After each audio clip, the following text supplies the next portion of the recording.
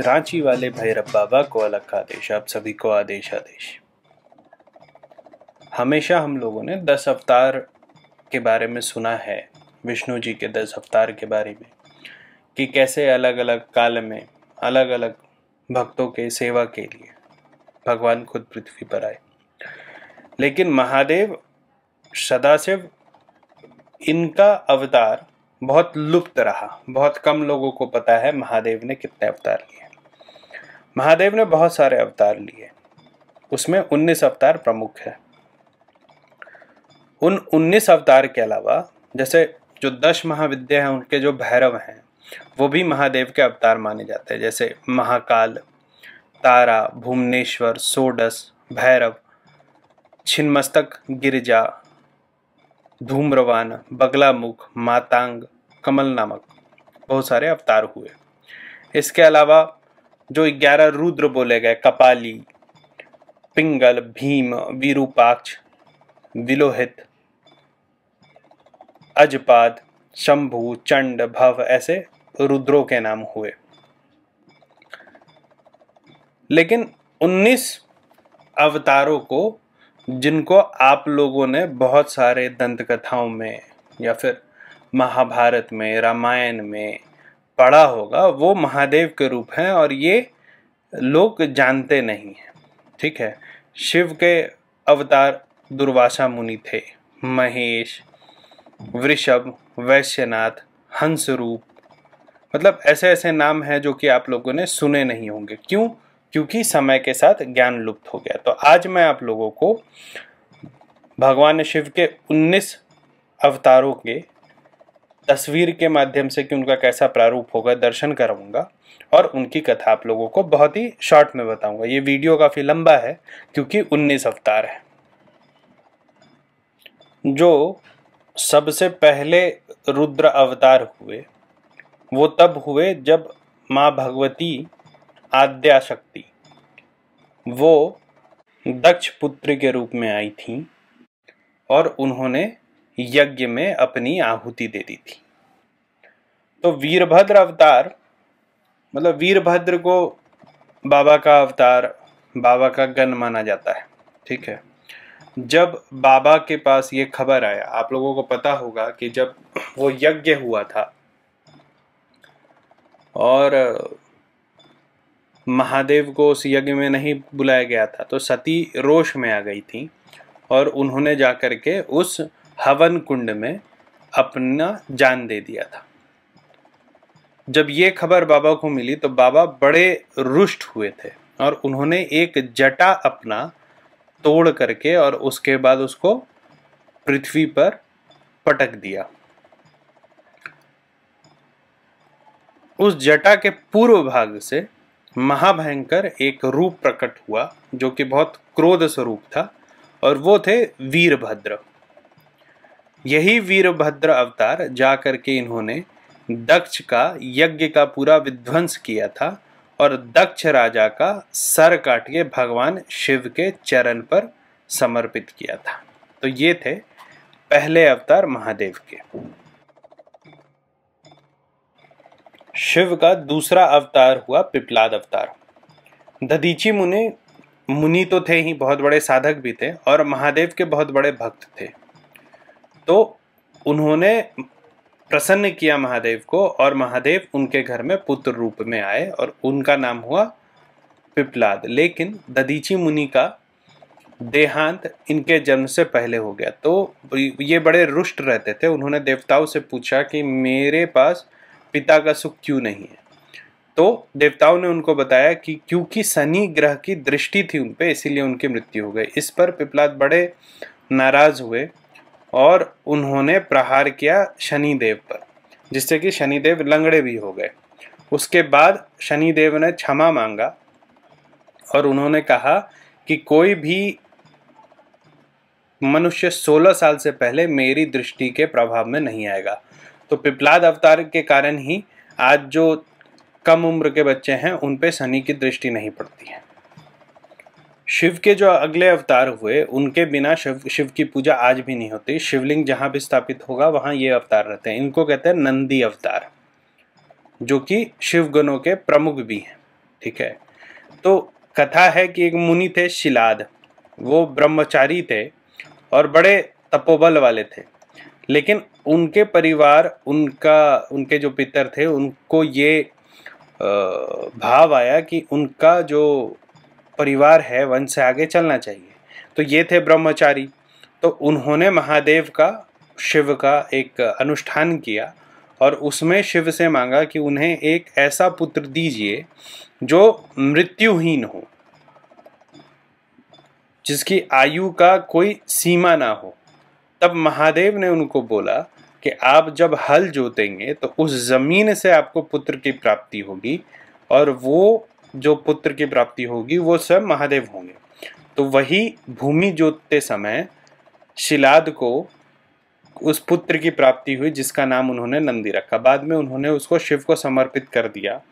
और फिर नंदी की जो शादी है, वो मारुतो पुत्र सुयशो से हुई, और उसके बाद इन लोगों का वंश कभी नहीं रुका।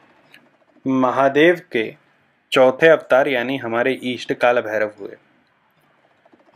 तो इनकी कथा तो लोग जानते हैं कि विष्णु जी और ब्रह्मा जी में श्रेष्ठ होने का एक कंपटीशन छिड़ा, एक डिबेट छिड़ा। उसी में एक बहुत बड़ा तेज पुंज वहाँ पर आया, जो कि एक पुरुष के आकृति में खड़ा हो गया, दिख रहा था।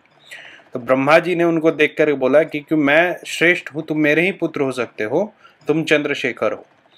तो इस पर महादेव को क्रोध आ गया और महादेव जी ने उस तेज पुंज जो उनसे ही निकला था, उसको कहा कि क्योंकि आप काल की भांति शोभित हैं, इसके कारण आप साक्षात काल राज हैं और भीषण होने के कारण भैरव हैं। तो महादेव ने उनका नाम वहाँ पर काल भैरव रखा, जो शक्तिपुंज से उनका अवतार हुआ था। और फिर उन्होंने बोला कि ये जो मुख अपने आप को सबसे सर्वश्रेष्ठ बोल रहा है, इसका आप नाश कीजिए। तो अपनी कानी उंगली से भैरव जी ने उस मुख को काट दिया और आप जो भैरव जी के हाथ में मुंड देखते हैं, वो ब्रह्मा जी का मुंड है। शिव के अगले अवतार के वक्त की कहानी आप लोगों ने बहुत बार सुनी होगी, क्योंकि शिव के इस अवतार का आमना सामना विष्णु अवतार कृष्ण जी के साथ हुआ था, अश्वत्थामा का अवतार। अश्वत्थामा जो है, सिर्फ़ शिव नहीं, लेकिन काल, क्रोध और यम साथ में भगवान शिव के अंश अवतार हैं। पूर्ण अवतार नहीं, अंश अवतार है। वो महाभारत में गुरु द्रोणाचार्य के शिष्य थे। उनकी कहानी आप सब जानते हैं कि द्रोणाचार्य का वध करने के लिए कृष्ण ने एक नीति अपनाई। उसमें उन्होंने कहा कि अश्वत्थामा मारा गया, जो कि एक गज था, ना कि अश्वत्थामा जो अमर थे, वो थे। अश्वत्थामा आज भी अमर हैं और आज भी उनको देखने का दावा किया जाता है। महाभारत की कहानी के हिसाब से भी उनको ऐसा श्राप है कि वो मृत्यु नहीं पाएँगे। अगला अवतार जो शिव का आया। ये भैरव अवतार के रूप में भी जाने जाते हैं। ये छठा स्वरूप था, इनको सर्वा अवतार बोला जाता है। ये अवतार हिरण और एक पुराणों में वर्णन किया हुआ जंतु है, जिसको सरब बोलते हैं। ये इनका मिश्रण था। सरब आठ पैर वाला होता था और शेरों से भी ज़्यादा शक्तिशाली होता था। इनकी कथा यह है कि जब नरसिंह देव ने हिरण कस्प्यू का वध किया और उनका क्रोध शांत नहीं हो रहा था तो देवता प्रार्थना लेके महादेव के पास पहुँचे और शिव ने तब शरव अवतार लिया। शरव अवतार पहले गए और नरसिंह भगवान के सामने स्तुति की, नहीं मानने पर नरसिंह को अपने पूछ में बाँध कर वो आकाश में लेते चले गए। थोड़ी देर बाद नरसिंह का गुस्सा शांत हुआ। फिर उन्होंने सर्वावतार का स्तुति की और फिर दोनों अपने अपने स्थानों पर चले गए। ये छठा अवतार था। महादेव के सातवें अवतार हुए गृहपति अवतार। एक मुनि हुआ करते थे जो नर्मदा तट पर रहते थे। धर्मपुर नाम का नगर था। उसमें विश्वानर नाम के मुनि थे। मुनि शिव भक्त थे, लेकिन उनको पुत्र की प्राप्ति नहीं हो रही थी।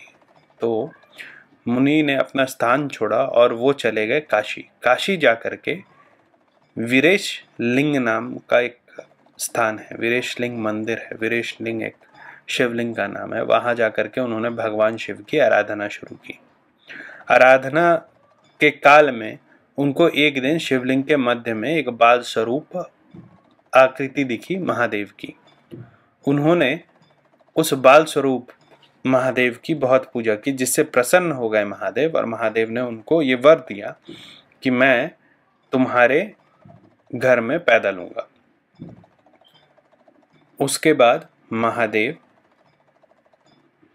उनकी धर्म पत्नी के कोख से पैदा लिए और उनका नाम हुआ गृहपति। जो आठवें अवतार माने जाते हैं, महादेव के, वो दुर्वासा ऋषि हैं। इनका जो प्रादुर्भाव हुआ, इनके कथा में थोड़ा सा विरोधाभास है अलग अलग कहानियों में। लेकिन माना यह जाता है कि जब अत्रि ऋषि को पुत्र की प्राप्ति नहीं हो रही थी, जिनकी धनपत्नी का नाम सती अनुसुईया था, जिनका कथा आप लोग दत्तात्रेय भगवान की कहानी में सुनते होंगे। तो उनके तप से प्रसन्न होकर ब्रह्मा, विष्णु, महेश तीनों उनके आश्रम में आए और फिर तीनों ने कहा कि हम आपके पुत्र के रूप में जन्म लेंगे। तो कहा जाता है कि जब विष्णु जी ने जन्म लिया तो वो दत्तात्रेय के रूप में जन्म हुआ उनका, और जब रुद्र ने जन्म लिया तो वो मुनीश्वर दुर्वासा बने। ब्रह्मा जी का जो जन्म हुआ था, वो चंद्रमा के रूप में हुआ था। हालाँकि दूसरी कथा ये भी है कि तीनों अपनी धर्मपत्नियों के कहने पे गए थे, और फिर तीनों एक साथ प्रकट हुए तो वो दत्तात्रेय भगवान बने, जिनका तीन मुख था। लेकिन एक कथा ये भी है कि दुर्वासा मुनि रुद्र अवतार, वो अनुसुईया की कोख से पैदा लिए। अब कथा आती है नौवे अवतार की, जिनको कहते हैं हनुमान जी। पवन सुत, हनुमान की जय। तो पवन सुत मतलब इनके जन्म का माध्यम कौन हुआ? वो हुए पवन। तो शिव महापुराण में कथा है कि जब देव दानवों के बीच में अमृत का बंटवारा हो रहा था तो विष्णु जी मोहिनी रूप में आ गए। और मोहिनी रूप के चलते कामातुर होकर के शिव जी का पतन हुआ, जिसको सप्तऋषियों ने सजो के रखा। और फिर समय आने पर सप्तऋषियों ने वानराज केसरी की पत्नी अंजनी के कान के माध्यम से इस वीर को स्थापित किया, जिससे कि एक बहुत ही पराक्रमी पुत्र का जन्म हुआ, जिनको हम लोग हनुमान जी कहते हैं। ऐसे, हनुमान जी वानर थे या वानर उनका गोत्र था, ये विषय शोध का है। झारखंड में एक जगह है अंजनी धाम, जहाँ पे लोगों का गोत्र होता है वानर। और कहा जाता है कि हनुमान जी के जन्म का स्थान वही है और यही वो साम्राज्य है जहाँ पर हनुमान जी विचरते थे। दसवा अवतार महादेव का वृषभ रूप में हुआ। कहते हैं, इस स्वरूप में महादेव ने बहुत सारे विष्णु पुत्रों का संहार किया था। धर्म ग्रंथों के अनुसार शिव जी दैत्यों को मारने के लिए पाताल लोग गए थे। तो वहाँ पे कई चंद्रमुखी स्त्रियाँ थी, जिनके संयोग से बहुत सारे पुत्रों को उन्होंने जन्म दिया। और जब इन पुत्रों को जन्म दिया तो ये बड़े उपद्रवी हुए, क्योंकि इनका स्वभाव दानवों वाला था। ऋषि, मुनि, देवता सब फिर महादेव के पास पहुँचे। इस समस्या को लेकर के। और महादेव जी ने फिर इन सारे विष्णु पुत्रों का वध किया वृषभ रूप में। तो ये महादेव का दसवा स्वरूप रहा। जो अगला अवतार हुआ था महादेव का, वो यतिनाथ अवतार था। यतिनाथ अवतार महादेव ने लिया था दो भील दंपतियों का टेस्ट लेने के लिए। अहुका अहुका भील दंपति रहते थे, वो शिव के बड़े भक्त थे। तो एक दिन यतिनाथ जी के अवतार में महादेव उनके घर पहुँचे उनको टेस्ट करने के लिए, परीक्षा लेने के लिए। तो भोजन के बाद यतिनाथ जी ने बोला कि आज मैं आपके घर में विश्राम करूँगा, लेकिन छोटा घर होने के कारण और क्योंकि भील संप्रदाय जंगल में रहता था तो बड़ा खतरा था, लेकिन पत्नी ने अपने पति को समझाया और जो पुरुष था, अहू का, वो धनुष बाण लेकर के रात भर यतिनाथ जी की रक्षा करते रहा, घर के बाहर खड़ा होकर। सुबह जब ये लोग उठे तो उन्हें पता चला कि जानवरों ने अहुका को खा लिया है। तब भी अहुका की पत्नी शोक में नहीं आई। उन्होंने बोला कि अगर हमारे धर्म में जान चली गई तो कोई बहुत बड़ी बात नहीं है। जब चिता पर जलने वाला था होगा तो महादेव जी अपने रूप में आ गए, शिव अपने रूप में आ गए, और उन्होंने इन्हें वरदान दिया कि तुम जन जन मांतर तक पति पत्नी रहोगे। महादेव के अगले अवतार हुए कृष्ण दर्शन अवतार। श्राद्ध देव के पुत्र थे नभग। नभग पढ़ने के लिए गुरुकुल गए और काफ़ी रम गए। जितना समय लगना था उससे ज़्यादा समय वो गुरुकुल में रहे। उनके भाइयों ने समय देखते हुए राज्य का बंटवारा कर दिया। जब वो लौट करके आए तो वो बड़े रुष्ट हुए और उन्होंने श्राद्ध देव को बोला कि ऐसा क्यों हुआ? तो उन्होंने बोला कि तुम यज्ञ भूमि में रहने वाले ब्राह्मण हो यज्ञ परायण ब्राह्मण हो तुम इन सब चीज़ों में मत पड़ो। ऐसा सोच करके नभक चले गए। उन्होंने एक यज्ञ किया और उसके बाद जो भी उनके आ, उनका जो भी धन दौलत था वो वो ब्राह्मणों को बांटने लगे। तब महादेव वहाँ पर कृष्ण दर्शन रूप में आए और उन्होंने बोला कि ये यज्ञ भाग में जो भी धन दौलत है ये सब मेरे रूप मेरा है। अब ब्राह्मण और कृष्ण दर्शन के बीच में नभक फंस गए तो उन्होंने श्राद्ध देव को बोला कि आप ही अब निर्णय करो कि किसको ये सारा धन जाएगा।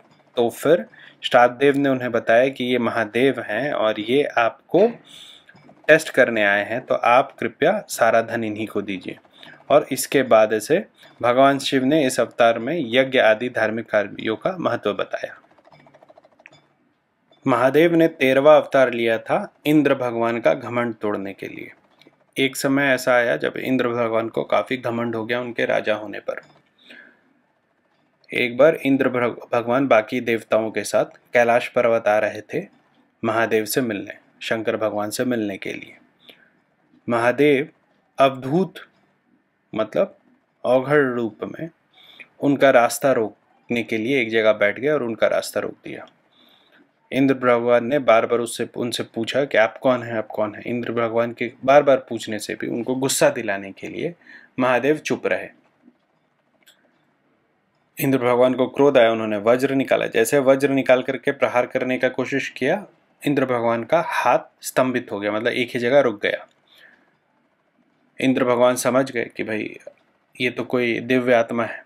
उसके बाद महादेव ने उनको बोध कराया कि वो कितने अहंकारी हो गए थे। महादेव की स्तुति करके बाकी देवता चले गए। और अवधूत अवतार का जो काल था, वो भी यहीं पे समाप्त हुआ। महादेव ने अपना चौदहवा अवतार लिया था अपने एक भक्त को बचाने के लिए। हुआ ऐसा था कि राजा नरेश सत्यरथ शत्रुओं ने उनको मार डाला। उनकी जो धर्म पत्नी थी, वो छुप करके वहाँ से भागी और बाद में उन्होंने एक पुत्र को जन्म दिया।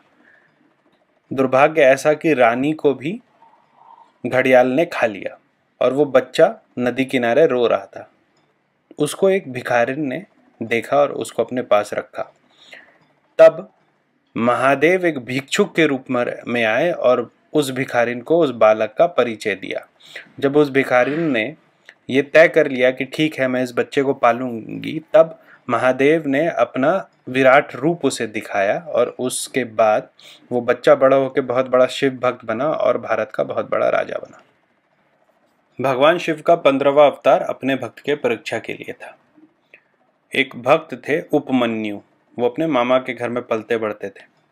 उन्हें दूध की बहुत इच्छा होती थी, दूध पीने की।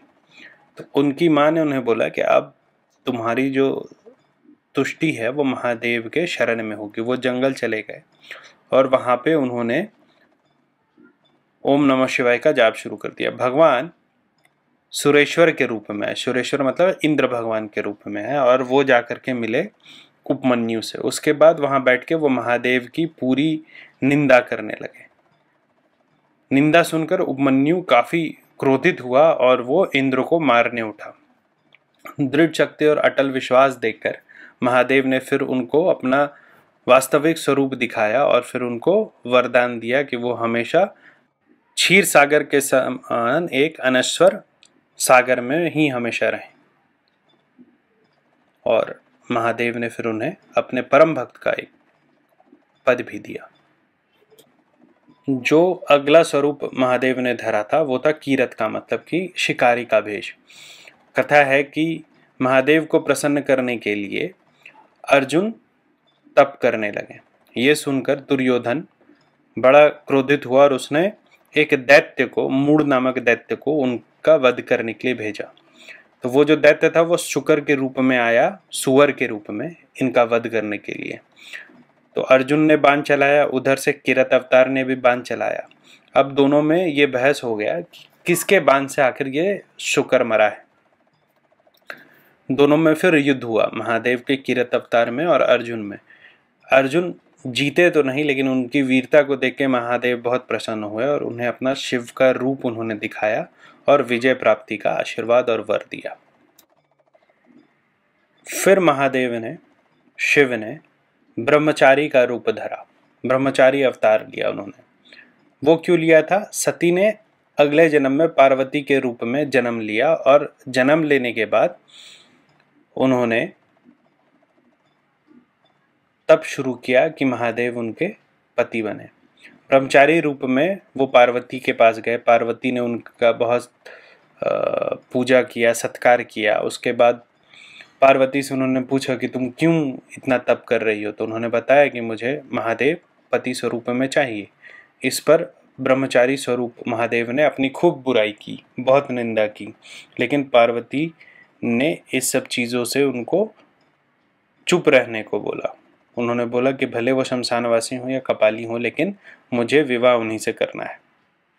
पार्वती का यह भक्ति और प्रेम प्रेम देख के महादेव बहुत प्रसन्न हुए और उन्होंने वर दिया कि मैं तुमसे ही शादी करूँगा।